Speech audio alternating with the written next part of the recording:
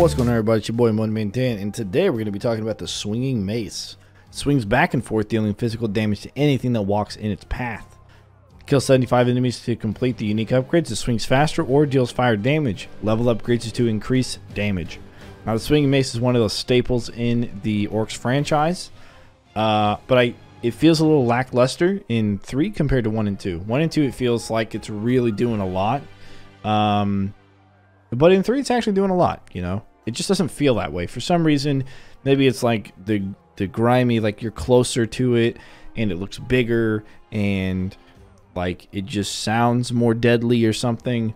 Um, but for whatever reason, it just doesn't seem like it's doing as much in Orcs Must Die 3. Maybe it is, maybe it isn't. I don't know. I don't use it a ton, but I do use it from time to time. Um, that being said, guys, let's jump into the game files. All right, so the first thing to note is that it does have a launch strength, which means enemies are going to fly from it.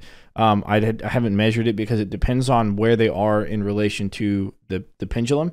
And, uh, you know, in in the direction that it's swinging, it, they're going to fly a certain distance based upon where they are from the center of the, of the swinging mace. And as it's swinging, if they're farther out, you know, then they'll fly different distances. And so it, I didn't calculate any of that. I mean, it's not that far, um, but it could send things over a barricade, you know, or it could send them farther through a kill box, and you may not want them to go that way. You may want them to go the other way, but they end up doing it. Okay, the primary damage is 50. Decent, decent. Trap Protos. Okay, I mean that's really all there is to say about the in the attributes. Uh, the trap protos, we have no trigger delay because it's a constant moving trap, swing back and forth and back and forth. It says trigger duration is two seconds. Now the cooldown is three seconds, so it'll swing and go on cooldown for you know uh, the three seconds, and swing and go down and cool down for three seconds.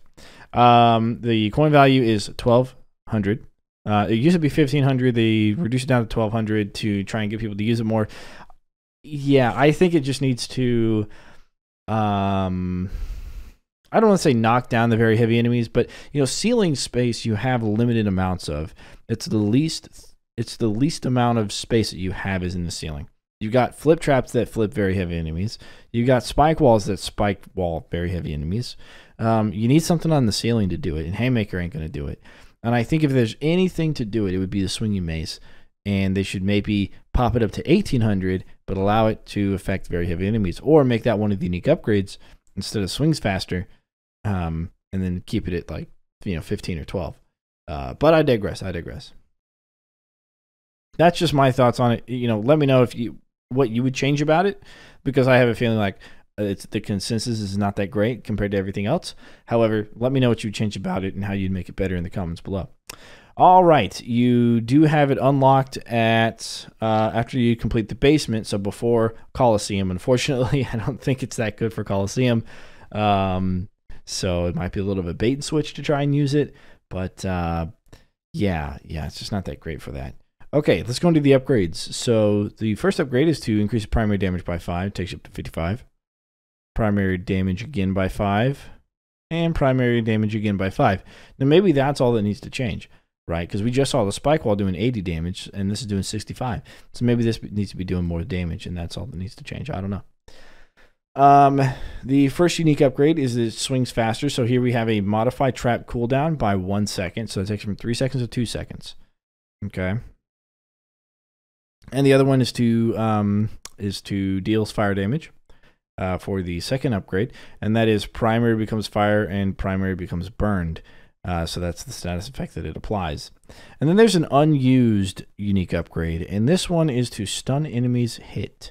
Now I believe one of the uh, one of the Orcs Must Die games actually had it doing stun, and I wonder if that would be. I wonder if that'd be better than one of these other ones. I don't know. I think it needs to maybe have this one second cooldown be just a default thing and maybe have burn or stun.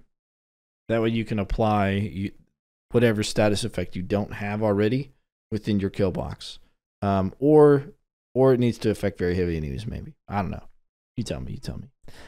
All right, we're going to look at a couple of different things about the swinging mace here. And yeah, let's just jump into it. All right, so as you can see, we have five maces if you look into the ceiling, you'll notice, boom, two of them are swinging sideways. These guys, very similarly to the lasers, you can actually place them on these ceiling spots. Okay? Now, in this room, yeah, it could be used in split stairs where where we also use it not so much. But then in cliffside, it can actually be used here quite effectively as well, I think, if you're going to use them. So what we can do is we'll go to this side over here. And you can have it stretching across, you know, like so. And maybe run enemies, you know, down the middle or whatever. Now you are going to have sappers come out of this gate if you're playing on uh, most difficulties. But, uh, you know, you could do something like that there. And then we have this space over here as well. You can do it across this area. You can also do it across the, um, if you have uh, two uh, outposts on war scenarios and they're and they have a bit of a space in between them in the ceiling, you can string them across there like you would string them across this opening. All right, so this is the fire mace, and the fire mace is the coolest, one of the coolest looking traps ever. I know I said that the snowblower with fire is really cool. It is. This is also really cool. Let's check this out. Let's see what it does. Alright. Wait. But I thought...